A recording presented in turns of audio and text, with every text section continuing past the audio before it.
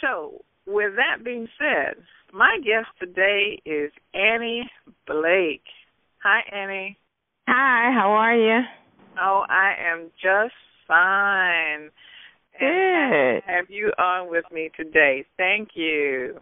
You're welcome. Good, good. So let's get started. Now, let me tell my listening audience how I got to um, be introduced to Annie. Now, I have seen her around for years and didn't quite know that we had a, a, a person in common. Her sister and I used to work together, and we have um, similar likes in terms of she was a dancer, and and I used to be a dancer, and we ended up at the same company. She was in charge of the fitness um, center. And last night we ended up at the same table at a at a social function and sat there all night long. And then as I, as um we were leaving, she whispered to me, "Are you still doing your radio show?" I said, "Yes." She said, "My sister would be great." I said, "Your sister? She's your sister?" Yes. And then she told me about all the things that Annie knows, and I'm just excited about hearing about that. And the person I'm talking about is Edith. Edith Randolph, um, and I had the pleasure of having her as a part of my book signing because uh, my book on African Americans of Tampa, the, the cover has a picture of Majorette, and Edith was a head majorette, and she came with her baton, and that was a delight for the evening. So I'm just um, excited about hearing what Annie has to say and um, letting us know about some of those sibling things that happened as you grew up as well. So, tell me about um, your beginnings and well, you said you came to Tampa um, as eight years old, so or eight or nine years old. So, tell us about where did you, where were you born, and um, how did you get to Tampa? Well, I was born in Monticello, Florida, and um, my parents had moved to Tampa. I was left with my grandparents, and after they came to Tampa, well, they sent they got settled, so they sent for me, and I was nine when I got here. So from there, you know, I've been here ever since. Oh, all right. So what was now? Do you remember anything about Monticello? Well, you know, we got the courthouse in the middle of the right in the middle of the road. you have to drive around the courthouse to get to the next side, other side. Oh goodness. And uh we are on the the the courthouse is on the Buffalo Nickel. And um well, we lived out in the country. So, you know, we had to get to town during that time we we had to walk wherever we went most of the time. So, you know, it wasn't that we got to town often. and it wasn't much of a town anyway at that point. Now, But- what do you mean by that? Because when I say that, being from the backwoods of Georgia, um, at the time that I grew up, there was one stoplight in the entire city, and now they've bypassed that. they've taken a I gone Oh. all the way around my little town, but it's still there. But you won't. Well, they've added high, um, you know, street lights and stuff in the city, but you know, it's still that rural area out there. Uh, uh, my sister and I went up for a family reunion, and she said, "Oh, thank God, mother, and moved away from here, cause I sure couldn't stay here." she said, "I couldn't live here. I would have to leave, cause it's just too country." Oh, see now that disappoints me. I thought Edith and I had a lot in common. Edith, we just took a departure because I love the country. but she wasn't born in the country. See, she was Oh, born here. Oh, So she- okay. Know anything about the country? Yeah, it is something when when when you live in the city. Like I I have a friend right now that that was born and raised in the city, and they don't have any concept of what putting your foot in dirt is all about. Oh, absolutely.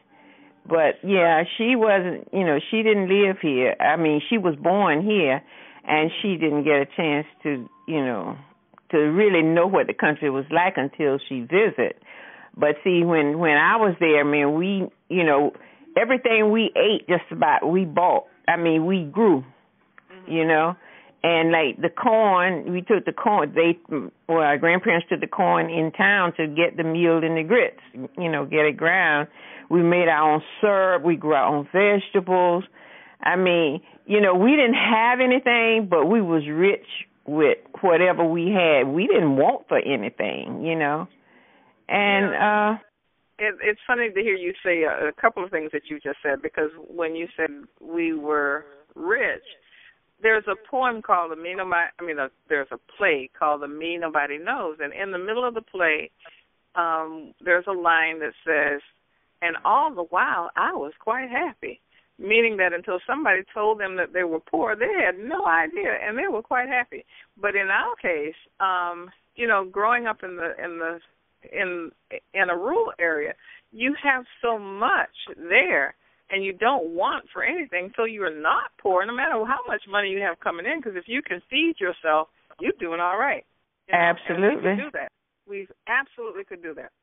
You know, so yeah, and and you know we had, I mean, oranges and tangerines, pecans, you know, you, whatever we have here, we had it there, but it was grown homegrown, so it was even more healthier than the foods of vegetables now.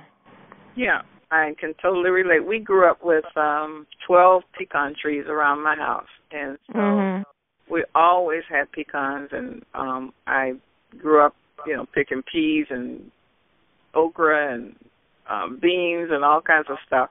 Right. And, and and then, you know, when when they had that hurricane a long time ago and people in Alabama were so distraught because their electricity was off for for a long period of time and their freezers went bad. And a lot of people didn't understand why that was so devastating. It's because we've had a freezer on our back, um, a deep freezer on our back porch, and would um put vegetables and meat and enough to last the whole year in those things. And so for the electricity to go off, you're talking about some serious food being gone. Yeah, I know. But see, well, when it was like hog killing time or stuff like that, they had a smokehouse. We had a smokehouse where they smoked the meat and stuff, and the meat would last forever. Look like, you know. And at hog killing time, they would cure that meat, you know, and and, and we'd sit out by the fire, roast sweet potatoes, and do cracklings and all that kind of stuff. And then they, when they cured the meat, you know, they cured the meat in the smokehouse, and they preserved it that way. And of course, we didn't have any refrigeration or no electricity. We had lamps and what have you. And I remember when we got ice, it was like that was a a, a commodity. That was a good commodity then, mm-hmm. you know. And then they like bury the dig a hole and bury the the ice in the ground so it was wouldn't melt so fast. it wow. was really experience. So but I enjoyed it, and I didn't know what, you know, coming to the city. It was like you got to get totally used to that. You know, it's a whole different world. Uh huh. But don't come to the city so quick because see, you're talking about things that I I'm familiar with, but mm-hmm. I haven't heard anybody else talk about it in a long time. Like when you were talking about the the ice, what that brought back for me is the the fact that there's a spot on Highway 21 in Georgia, headed up to up in the country where I grew up. Mm-hmm. And as you turn from one part of the road to another, leaving Springfield, going into the the highway, the old highway, there's a spot that used to have uh, an ice house. And every mm-hmm. time I go by there, there's nothing but woods right there now. I think it's overgrown. If there's any structure there, it's it's totally not useful anymore, but I can't remember anything but overgrown brush. But right. what I when I go past that spot, it's almost like a, a memory um that just pops up. I I always remember the ice house, and I had it had to have been functional just as I was, you know, able to remember anything because I don't remember actually getting ice or anything like that. Just remember seeing the ice house. And right. It it wasn't there long before it was gone, but I mm. remember seeing it. You know, and yeah. And, and when you say bury it in the ground, now that's something. Um, even in Florida, it was the ground was cold enough to hold the ice like that. Tell me more about that. Monticello is in North Florida, uh-huh. and you know, even being out in, you know, in the the, the rural area, you know, it, it it wasn't as warm because it stayed colder out in the rural area than it did in the city. Because in the city, you usually have houses and stuff that blocks the cold. But when you're in the country, you know, you just have the trees and stuff around you and and like I say that was North Florida, so they had a way of doing it, you know. And uh the the grandparents, they they took care of what they had to take care. Now I don't know how long it lasts cuz then I was still young, quite young. But uh I do remember, you know, some of the things that you know, we did. And then it's like you know, our parents, the grandparents would go. Uh, they would go picking water, uh, getting watermelons, picking peas, and all that stuff. But they wouldn't let me go. But I had to stay home because my aunts had children, and I stayed home and babysit. so I didn't have to do that. I was babysitting at an early age. So you know, it's like you got to grow up real fast. Yeah, yeah. Well, you, and, you say grow up real fast, but it's still such a protected environment, so it doesn't feel as as fast as what I feel like these kids have to grow up today. Um, oh no, no, you know, no! How growing up was growing up to be functional, physically functional. Absolutely. you know, but to but to know so much and to be exposed to so much, that was not necessarily what I remember. You know, mm-hmm. what these kids are growing up with is un, unreal. Yeah, well, you had to, you know, you had to do what they tell you to do, you know, and I mean, if you didn't do it, you know what was coming. you know, it's not like now H, uh, HRS say you can't spank your child, and you know, like the Bible said, the spare the rod, uh, spoil the child. You can't do that. We couldn't do that. You know, we had to mind our parents. We had to do what they said. Plus, we wasn't around a whole lot of stuff, and one house was like mile, a couple of miles or so from the next house. So you knew you had to do whatever your parents say do, or else you got it. I remember that my grandmother, I did something. I don't remember what I did, but she put me between her legs and tore my butt up with a switch, and I never will forget that. And so, you know, you, you learn how to respect people, you know, and that follows you, you know, wherever you go because they didn't play. You know, the parents now don't have any parenting skills like our parents, our parents and grandparents had. They don't have those skills and and they could look at you and you you you had you knew what was coming, so mm-hmm. you did and, the right thing. And that whole thing about it takes a village to uh, raise a child. Well, when that statement came out, it was almost resentful because it's like, oh yeah, we know this. we grew up with this. You sound like that's something new, because um, you know, there's somebody that came to my house one day and made the mistake of stopping to Miss Ada's house to ask for direction. Mm-hmm. And it was a boy. and actually he happened to be a light skinned um black kid, all right. So and I have to tell you this because I mean have to say that in order for you to understand the story. So he found the house. He came unannounced. I was devastated. I mean, nobody had come to my house before. It was like, oh my god! And then for him to stop at Miss Ada's house, that was worse. And mm. um by the time he sat down, Miss Ada was knocking on the door. Miss Stephen, I just wanted to see what white boy that was. I was sitting down here. oh. Oh, yeah. Hey, they say it was nosy. They characterized him as being nosy, but you know, being nosy paid off. It did. It did. Now he was not white, but nevertheless, she didn't know it. mm. She was gonna make sure she knew. She was gonna make sure, and and that was perfectly allowed. You know. So, yeah. Okay.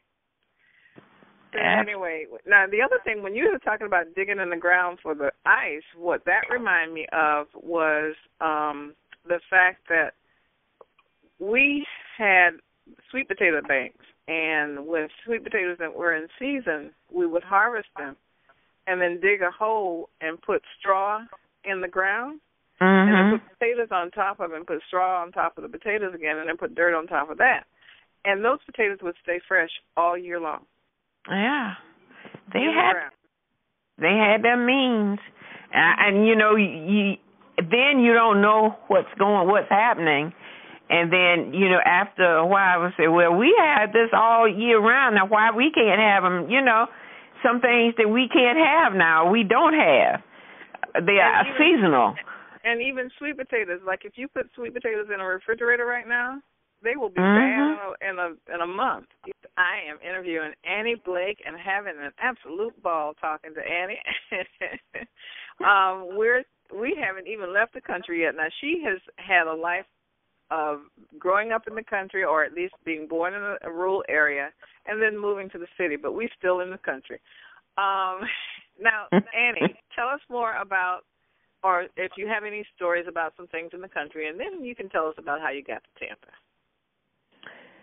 Well, um, I I was like, you know, when our parents was out doing the farming, and I was home babysitting. I didn't start to school until I was eight, so you know that put me far behind the kids in in town now.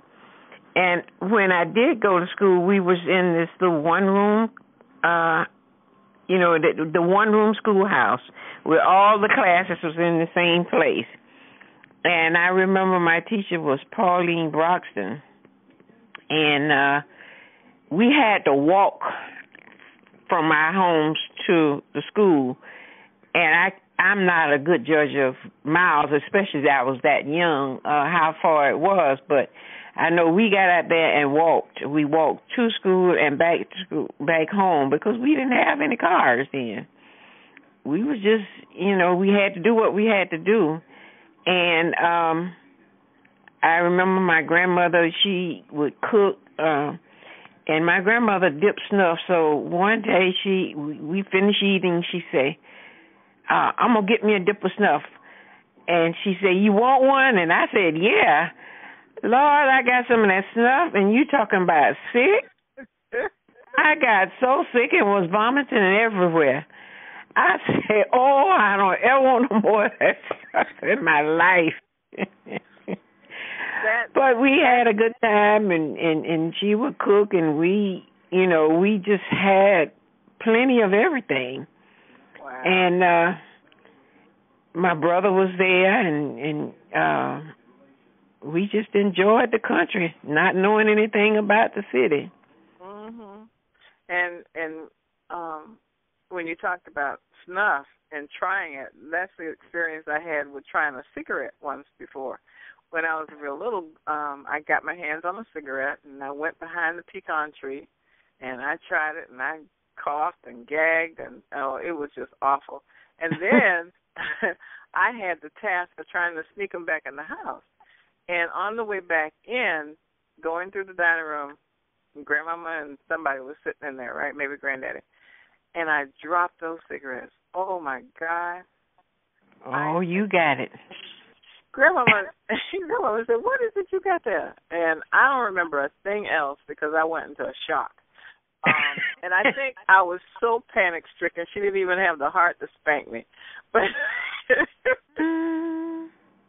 but you never did that again. No, I sure didn't. Mm-mm. And they- they'll scare the daylights out of you. They didn't have to Oh yeah. Yeah, yeah. scare you to death. Like the fear. they put that fear of God in you. Mm-hmm. And ah. with the the switch, grandmama had a way of um you know, if she if she wasn't really I shouldn't say angry, but if it wasn't really serious, she'd have um the switch with all the leaves and stuff on it. But then when it got serious, she'd strip that thing bare. And Oh I- yeah. I was in trouble. But you know, Yeah. and, and, know, there are some people right now that don't believe in spanking, don't be- believe in giving a good whipping. But to be honest with you, I am very, very, very torn about that. Now, personally, I've only spanked one of my children once. Okay, Mhm. and and that was enough to get control. But I would not, I don't regret having done that because it was needed at the time and it worked. That's right. But when you when you compare it to the fact that we're not allowed to do that or not it's not something that you're supposed to do today, the alternative is is if if the parents are not allowed to spank and to get control of the children, then the next thing you know, you know you have an eight year old being handcuffed and dragged away by the police, and and they whooping them, and they're whipping them, yeah, and right. beating them down. Um, yes, so right. If a policeman can beat a child down to the ground, why can't I at least punish? And now the the rule of thumb that my grandmother used, so so you can be clear about what I'm talking about.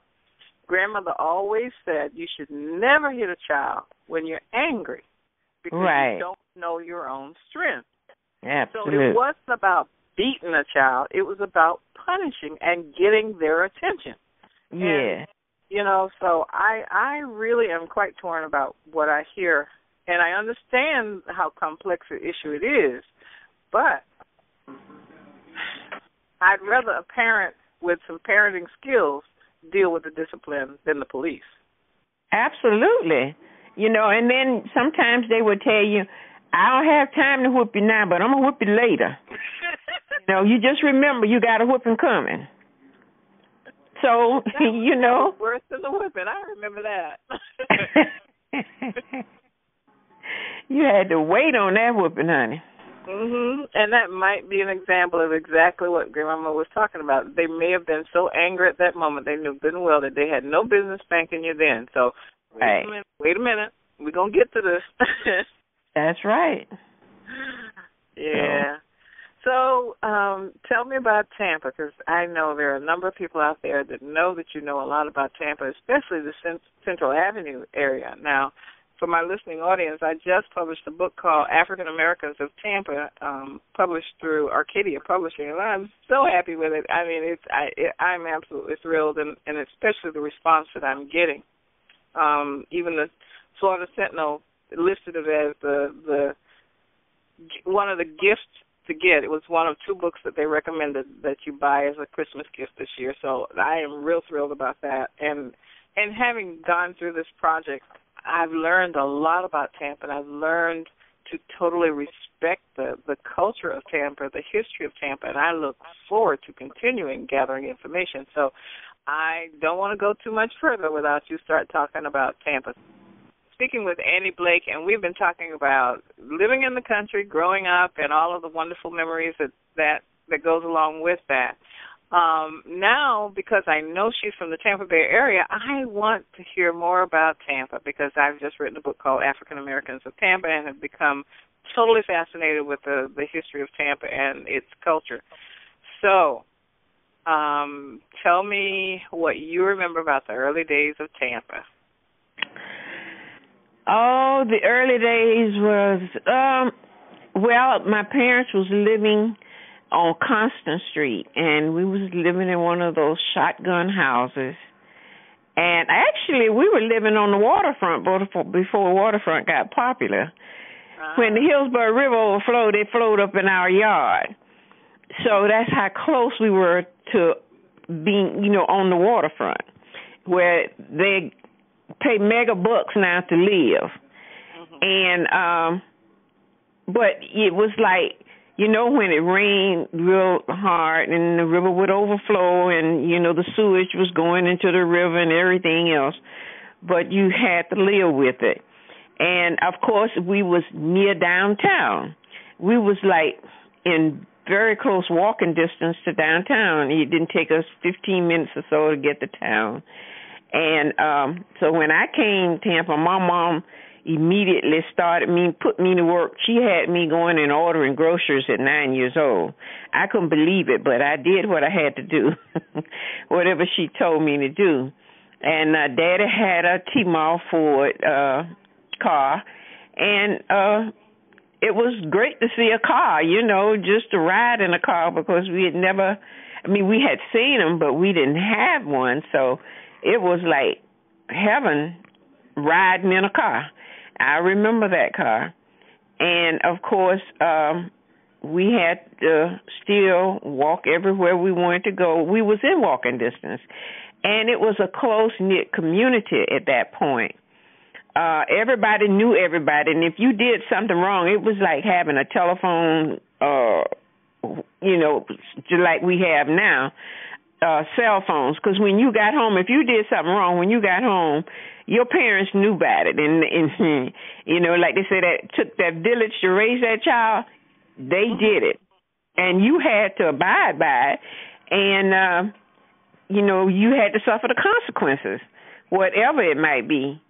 And of course, uh, I, going to school, I went to Dunbar Elementary, and uh, then from there, I uh, I went to Carver and of course at Carver I did play basketball, and um, you know it was a rivalry between Carver Junior High and we had junior high schools then between Carver Junior High and Booker T. Washington Junior High, and you know it was fun, you know, doing that. And we also went to St. Petersburg, nearby cities, playing basketball, and that was really uh interesting and and and we enjoyed doing that. And then the boys and girls team, we they would have charter buses to take us, and and we would just enjoy it, you know. And it was something that we got away from the city, uh, our city, and went to another city,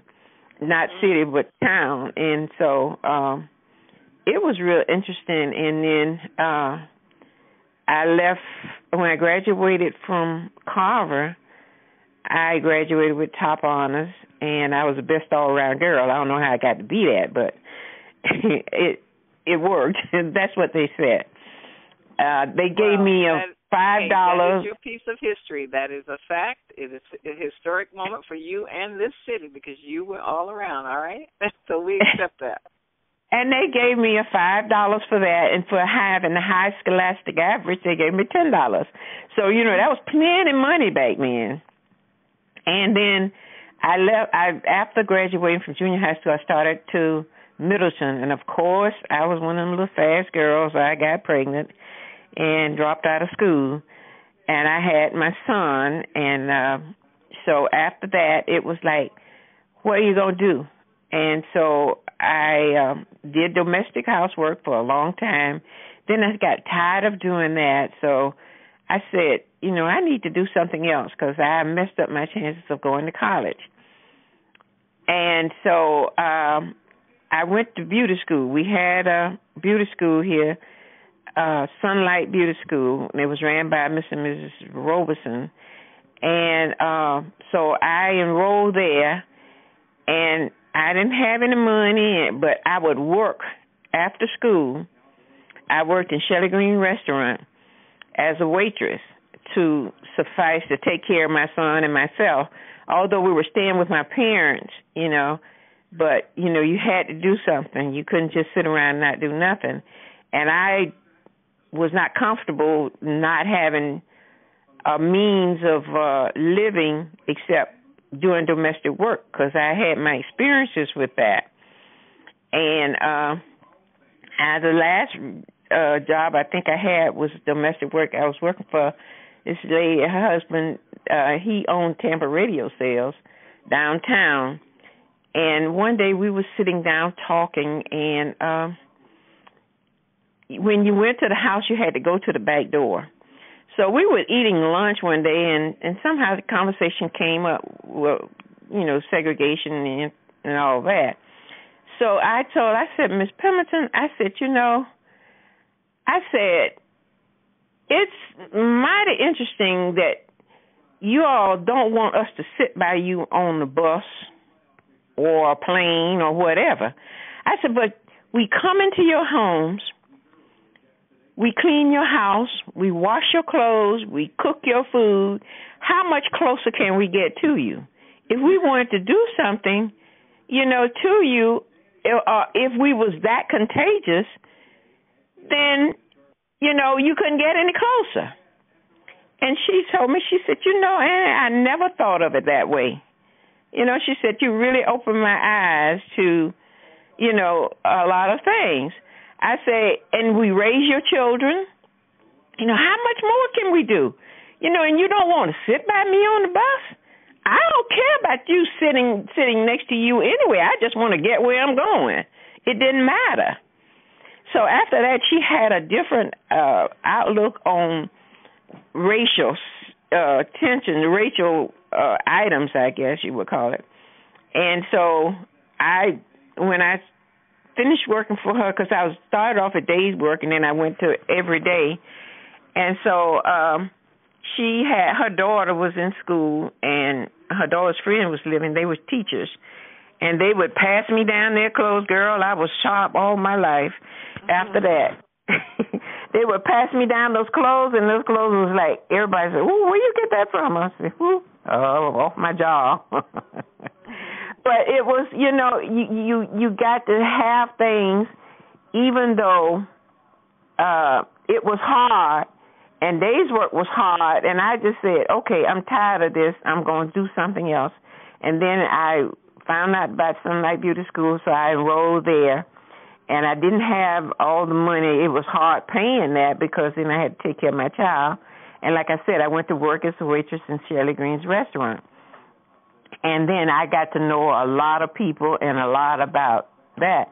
But even coming up after uh, when we got a certain age, we had a recreation center. It was Kid Mason's Recreation Center, and on Saturdays they would have a dance for the teenagers. So we would go, and I had to beg to go, and Mama said, "Be home by eleven." Well, the dancing turned out until eleven, and I was always late getting home because then we had to go and stop by, walk down Central Avenue because it was off of Central Avenue, but we had to walk down Central Avenue and go to this place called Cozy Corner, and they had hot dogs with chili sauce and fried chicken and chili and uh it was just so good and you just had to get it and of course I had to wait for somebody to walk with me to go home. But it was Cozy Corner and it was owned by uh Roosevelt and David and I can't remember their last names but it was the best old chicken and hot dogs and red rice with giblets. And they put some sauce over it. Ooh, you talking about living? That stuff was good. And it was, you know, we knew everything. We walked up and down Central, and we couldn't go in the bars and stuff, but we would always peep in and and try to see what was going on. And of course, then we um our black policemen came into force and they were walked the beat, as you say, and uh you get to know everybody. And at that time, uh after I graduated from uh beauty school, I started working uh at Lovey's Beauty Shop. It was formerly Singleton's Beauty Shop. And then you got to know everybody. You knew what was going on when and where.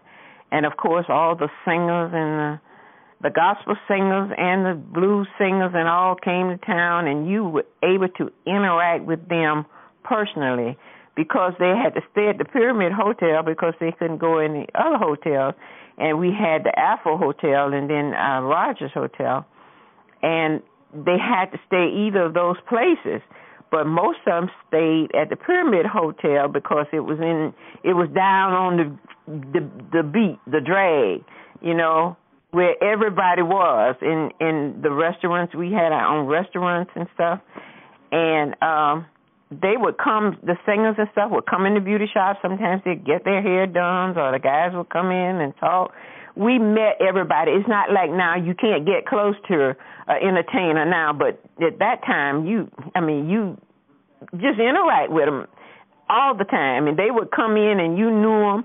And the last dance I remember going to was Ike and Tina Turner at the Apollo Theater, which was upstairs over a building. It was an old building, and we'd be dancing and the floor be shaking, we were having a good time. It was up over a bar called the Stink Moon, and um, but we had the patio too that we would go to dances, and we also had the Armory that we entertainers. James Brown would come to town, man. We would, oh, and you could take your food and your liquor or whatever you drink, and you just had a ball.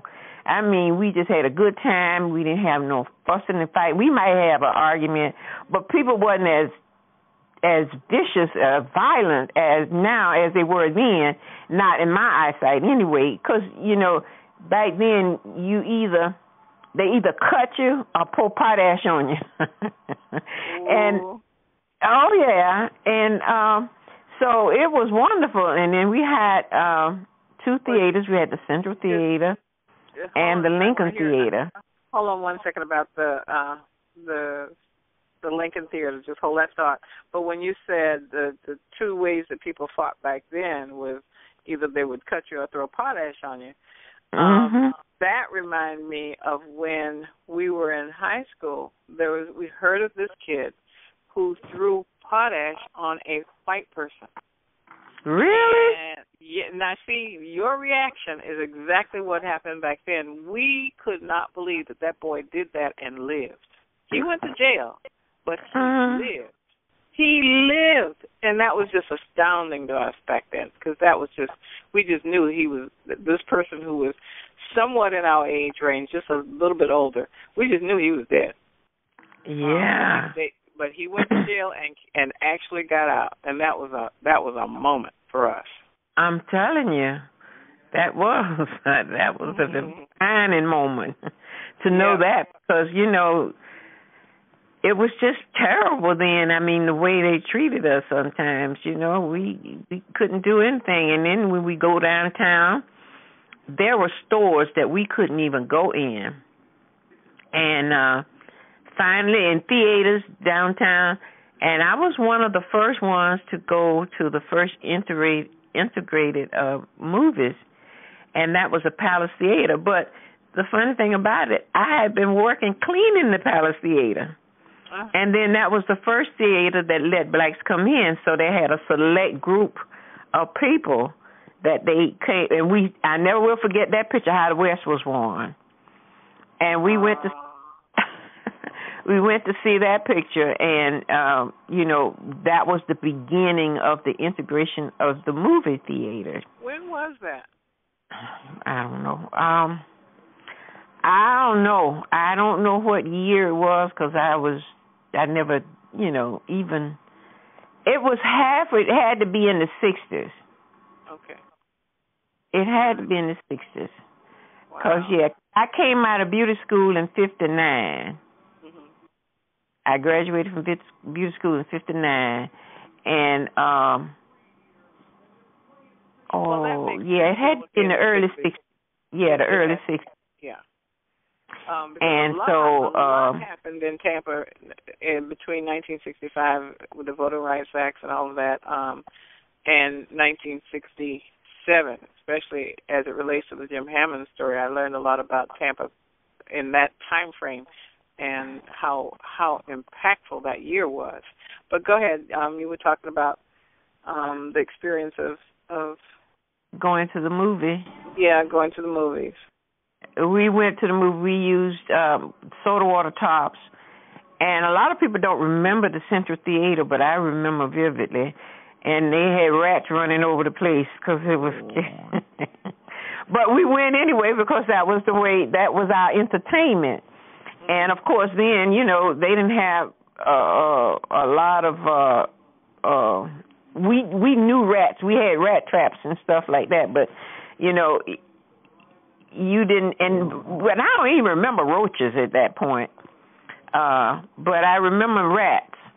And um because I know they were in the theater when we would go to the theater and somebody holler rat and everybody would get crazy, start looking. But it was like and then going to the Lincoln Theater after I think they closed the the Central Theater because it got real raggedy, and then they had a theater in West Tampa called the Carver Theater, and then the Lincoln Theater was where most of us went. We did go to the Carver Theater, but then it was like boundaries. You know, we had boundaries then. Uh, West Tampa and um, Belmont Heights. You know, they had territory. You wasn't allowed in in different territories if if uh, you didn't know somebody and you know, it was like they would fight you, you know. That was your ground, your territory. But then when you got to Central Avenue, which was centrally located, nobody bothered anybody. But if you go in Belmont Heights or West Tampa or something, you might get a fight. But that now, was it. Hold on to that thought. You know what you just said that that that I have never heard anybody say, but it, it's it's interesting. I've heard about the um the territorial West Tampa versus East Tampa and and and what have you. But the fact that Central Avenue was a neutral ground, that that even the name um is appropriate when when you realize that that happened. Right. Wow. Cuz we all went to the same theaters and we all went to the same movies. I mean, uh the recreation center, we went there to dance. We all up and down Central Avenue together and they had um like uh MacArthur Studio and on Easter man it was like they had an Easter parade and everybody from everywhere was there. You know, they dress up and they go take their pictures at MacArthur's and and we just paraded up and down Central, just showing off our little Easter stuff. And it was a neutral ground for all the areas from Belmont Heights to West Tampa, you know, to Central Tampa, and and we didn't have any problems. It just was not that. If you go into that area, then you might have problems. But as long as you was on Central, you uh, in that Central area, you didn't have any problem. And it well, was just go ahead.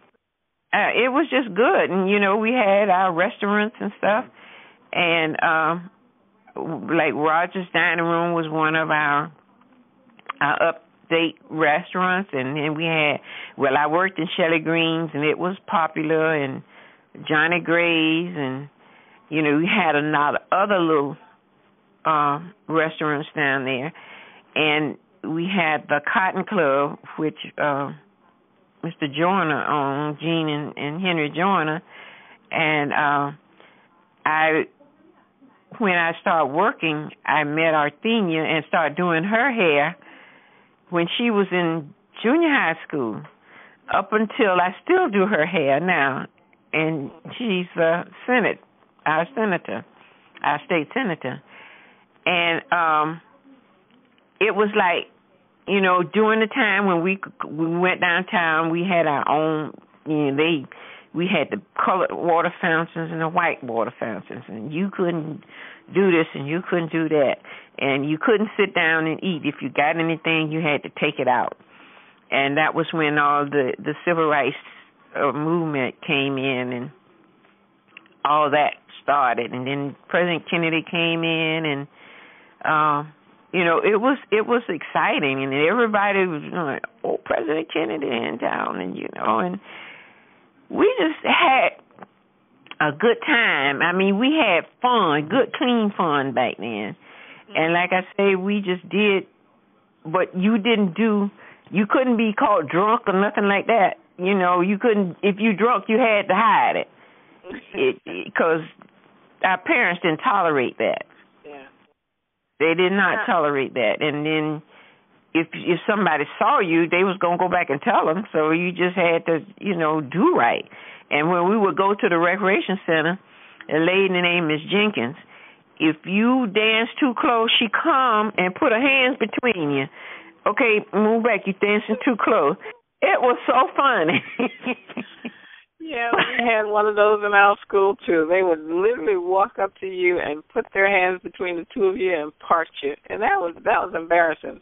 Not for me. I I mean, you know, I I wouldn't have embarrassing for us either. We just laugh at, it, and then soon as she turned her back, we go back doing the same thing again. But that was her job, and she did it. She was a little short lady too, but she didn't care. She was a little person, but she was she carried some a lot of weight. And boy, you didn't you didn't disrespect her. You did not do that. And so you know, you went there and and she would bar you from it if you got disrespectful. You couldn't come in. Mm-hmm.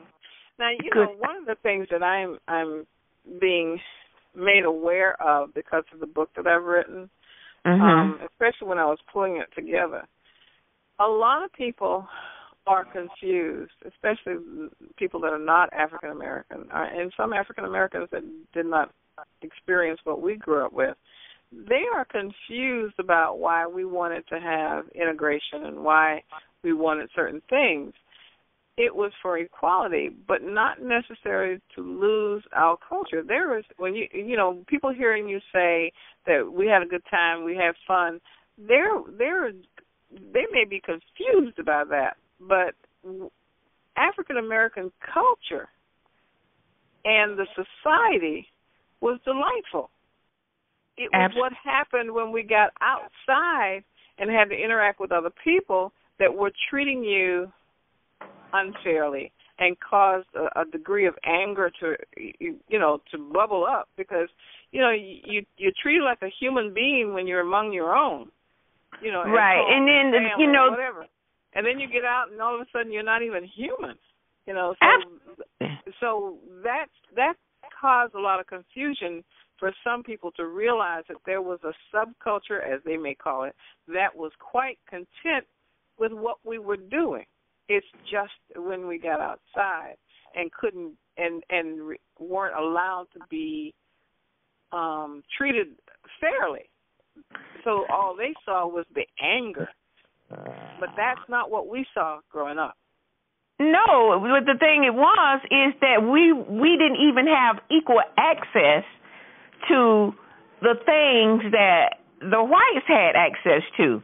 You know, even our textbooks and stuff. You know, and and you know the thing about it when we left elementary school, we could read, write, and do arithmetic. Now they go all the way to college and can't do it. And our wow. teachers, our teachers made sure that we got our lesson, and you know, and and we knew it. And we had to know it or else. You know? But we weren't treated equally because we didn't have equal access to what they had. So they were ahead of us in a sense. And that's what was disturbing because we couldn't we wanted we we we love our neighborhoods, but we wanted to be able to do the things that everybody else did. And that's just like I say, we couldn't even go in certain stores downtown. And it's not because we didn't have the money, but we weren't allowed to go in it. And that was, you know, that's what was the problem. They would not give us equal access to what they had. You know? And it it, it, it really it was just not fair. And and now we don't have any neighborhoods. I know. It's, we don't have any neighborhoods. They've even taken that away from us.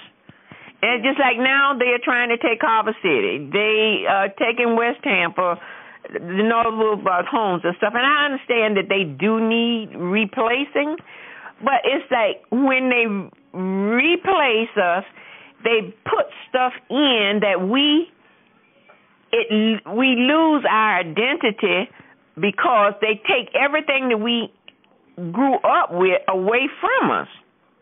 Yeah. So we don't, you know, we don't have anything to interact and say, you know, I did this here and there, you know.